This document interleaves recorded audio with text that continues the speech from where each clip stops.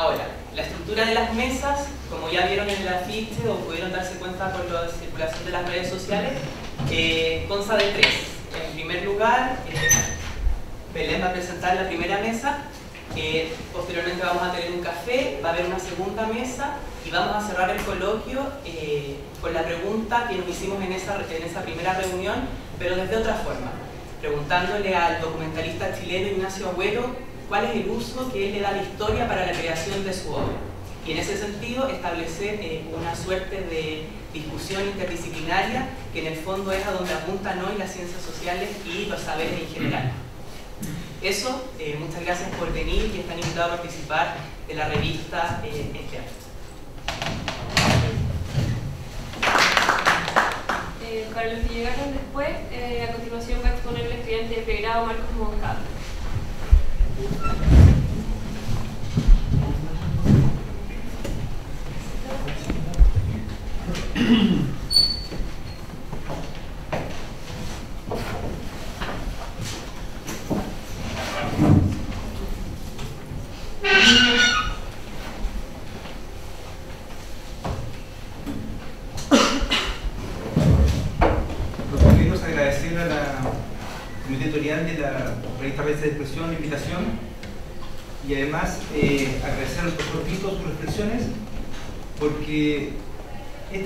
Sobre el paso del documento escrito a fuentes no escritas, eh, esta reflexión en cuanto a cómo entender y cómo interpretar los datos, las reflexiones que ha hecho sobre cómo construir conocimiento y cómo difundirlo, eh, posiciona eh, un trabajo como este que es eminentemente práctico, es una investigación realizada y que tiene que ver, incluso fue invitado, con la temática del seminario.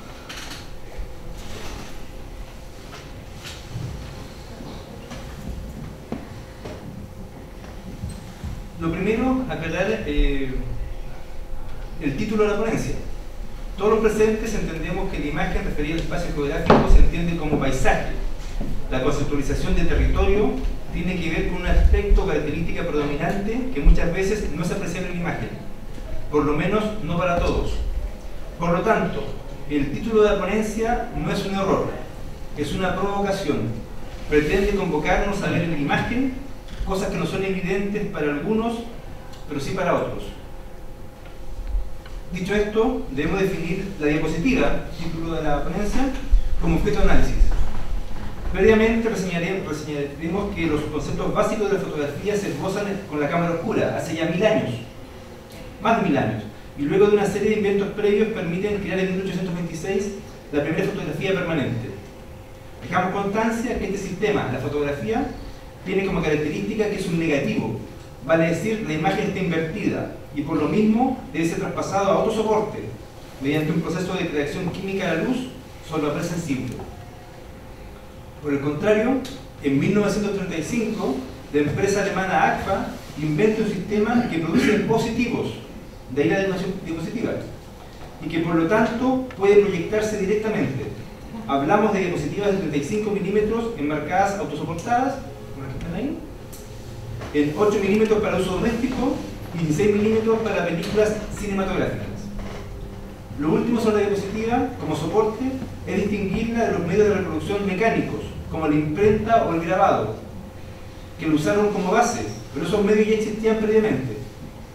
La importancia de la diapositiva fue su gran resolución y nitidez, lo que la convirtió en herramienta indispensable para los documentalistas. Y solo fue finalmente desplazada por los medios digitales. Hay, por lo tanto, un periodo importante de historia de la humanidad registrado en diapositivas, esperando su interpretación y construcción de conocimiento por parte de los historiadores. En lo concreto, el tema que hoy nos convoca surge en el marco de una investigación más amplia presentada en la Jornada Nacional de Historia Local Regional, desarrollada en el año 2012, y tiene relación con una línea de investigación que no se sostenía en documento alguno, solo la tradición oral romanui, hasta que tuvimos acceso a varios grupos de diapositivas, pudiendo constatar lo mismo que ustedes verán en vez de minutos. El tema que investigamos era el terreno familiar del clan Torani, cuya tenencia estaba registrada en documentos oficiales del Estado chileno a lo menos desde 1926. Sin embargo, como todos hemos visto por los medios de comunicación, se construyó un gigantesco hotel sobre el terreno, con una empresa transnacional, pese a que la ley chilena dispone que solo los Rapanui y nadie más que los Rapanui pueden ser dueños de la tierra en Isla de Pascua. ¿Cómo se llegó a eso? En estricto rigor, luego una seguidilla de irregularidades e ilícitos que no corresponde analizar en este momento ser otro tema de la ponencia. Lo concreto, y esto está documentado, es que la familia Ito en ningún momento vendió su terreno y que la familia alemana Chis, dueños del hotel, fundamentan su actual dominio argumentando que el delito que le dio origen estaría prescrito. Argumento jurídicamente cuestionable, pero que en definitiva establece que la familia Chis recibe el terreno de manos del Estado y no de la familia Ito. En resumen, nos encontramos con dos versiones.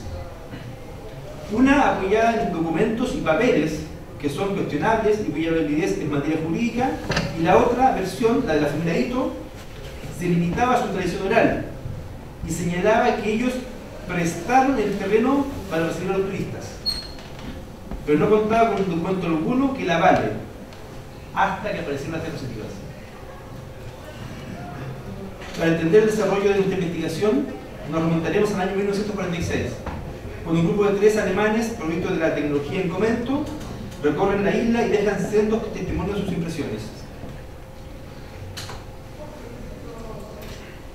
En sus textos dejan constancia de haber alojado en cuevas, refugio habitual hasta el día de hoy de la comunidad Rapanui, situación de la cual Fritz Mayer deja expresa constancia en un artículo publicado en febrero de 1947.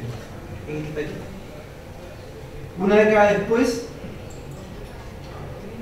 en 1955 visita la isla de la expedición de Thor Heyerdahl, dejando una detallada descripción de su visita en el libro Aku, donde describe detalles de las carpas que usaban los expedicionarios y también dedica varios párrafos y fotografías a las cuevas de la isla, donde constató que pernoctaban los Rapanui. Vemos fotos publicadas en su libro Aku Aku y además una diapositiva que permite comprobar que es la base de lo publicado en el libro. ¿Se fijan? Es lo publicado en el texto y la diapositiva original. Thor Heyerdahl hizo un tremendo registro etnográfico en diapositivas que dio la vuelta al mundo y puso Isla de Pascua como tema a nivel internacional. Nunca antes la isla y su cultura habían recibido tal grado de atención mundial. Una década después, en 1966, una expedición connotada, la METEI, expedición médica canadiense, levantando, como se en fotografías de revista Life, un hospital de campaña prefabricado. La calidad y color de las imágenes acusa que se trata originalmente de diapositivas. Estas fotos, también de la expedición Metei, nos muestran cómo los expedicionarios alojaban en carpas. Obvio, la isla no contaba con infraestructura turística alguna y sus únicos visitantes cumplían misiones científicas o eran pasajeros en buques anuales de la Armada.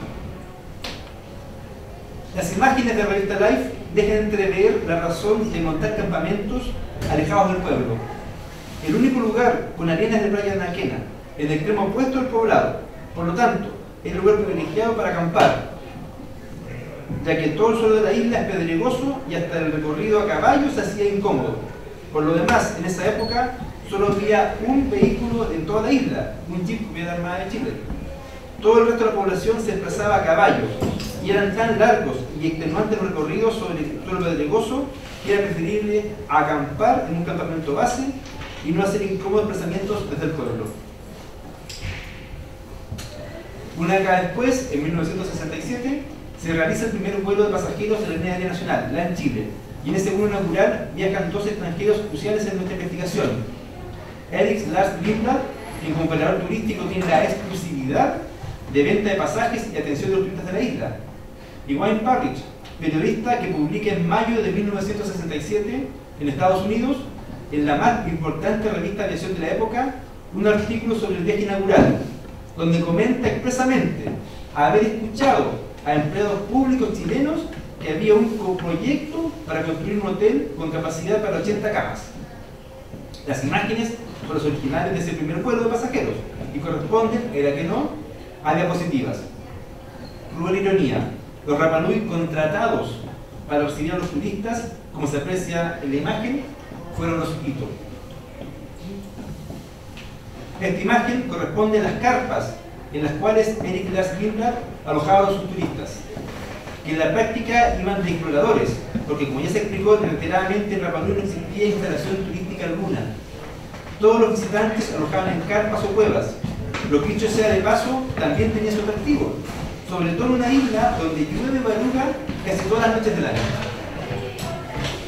Complementando la información, estas imágenes que corresponden a las descartes de una película de 16 milímetros, diapositivas, por lo tanto inéditos, por ser descartes, permiten constatar la calidad de la imagen y nitidez de los colores del formato diapositiva. Quienes aparecen en las imágenes son la familia Pacarati y sirven de apoyo para constatar que sus reuniones o fiestas solo agrupaban en torno al humo, un acto polinésico, y no se requería de infraestructura alguna. Estas otras imágenes, del año 1970, corresponden a las diapositivas inéditas de la Comisión Corby que visitó la isla y en base a sus apreciaciones el gobierno de la época aspiraba a diseñar una política habitacional específica para los Rapa Nui. Es por eso que el constructor civil de la Comisión Corby, don Érico Menzel, saca una serie de diapositivas para apreciar la materialidad con que construían los Rapa Nui. Y es así como saca imágenes de toda obra en construcción, entre otras del Hotel Fiscal, propiedad de Corfo a través de ONSA que es la imagen que desea abajo. En 1970, con el cambio de régimen, Lars Lindblad decide de seguir operando en Isla de Pascua y entrega equipos y elementos a los Rapanui que con él trabajaban. La Chile no promocionaba adecuadamente la isla y el gobierno entonces disponía de los cupos para actividades de difusión cultural y similares. Es así como en el año 1971 llega a la isla el artista gráfico Germán Rus, que en los años siguientes volverá varias veces a la isla, por largos periodos, gracias a la estrecha amistad que genera con la comunidad Rapa Nui. En esta imagen se aprecia en primer plano a Germán Rus y de fondo el Hotel Fiscal. Agradecemos que al, señor Rus habernos facilitado su colección de diapositivas inéditas de Pascua, al igual que el señor Nico En 1974, Germán Rus vuelve a la isla, Onza ya construyó otra instalación, pero con paredes, la distinta diferencia de que no tenía paredes, y era tan precaria como se aprecia en la imagen. Germán Rus tuvo que clavar cajas plataneras para evitar que entre el viento, la lluvia y los insectos o los intersticios de las tablas de las paredes. Note las comodidades del hotel fiscal. La mesa es de bambú, construcción local, artesanal. La cama en realidad es un cáter de campaña, una colchoneta. La precariedad de las instalaciones da fuerza a la versión de la familia Ito, ellos en ese entonces no conocían ni podían imaginar la existencia de hoteles residenciales o infraestructura turística. No por lo menos como lo conocemos nosotros. Ellos solo conocían las carpas. Y prestar su terreno para que se instalen las carpas no solo no era malo, era conveniente. Ellos eran los encargados de recibir y atender a los turistas. Y para facilitar la gestión y funcionarios de Corfo, le ofrecen la ayuda de Ricardo Ito la señora Verónica Tamu una vivienda social, una casa de cemento de 60 metros cuadrados, cuya recepción debe firmar ante notario, pese a ser analfabeta. El título de ese documento es Sesión de Derechos Eventuales. Así planteado, esta infraestructura era la continuidad de las carpas. No había, por lo tanto, riesgo alguno a la propiedad de la tierra, al margen que tradicional legalmente la venta no existía corrupción. Veamos nuevamente el hotel fiscal o residencial, como denominan los documentos de Corfo. Cada unidad consta de una tarima sin cepillar, a unos 30 centímetros del suelo, con cuatro pilares de madera, 4x4, que sostienen un techo de fonola, cartón alquitranado, y un circuito de cables alimentado con una batería automóvil con soquetes sin interruptor. Vale decir, para encender o apagar la luz había que atornillar o desatornillar la ampolleta. Legalmente, ante cualquier dirección de obras municipales, ni siquiera se consideraría una construcción permanente. Esas características tendrán condición de temporal o transitoria. Y sobre la tarima, lo que vemos son carpas. Las mismas carpas que hasta ese día traían los turistas para acampar y luego se las llevaban pero después de esto, las carpas ya no se fueron, tuvieron que irse los hitos. Muchas gracias por la atención.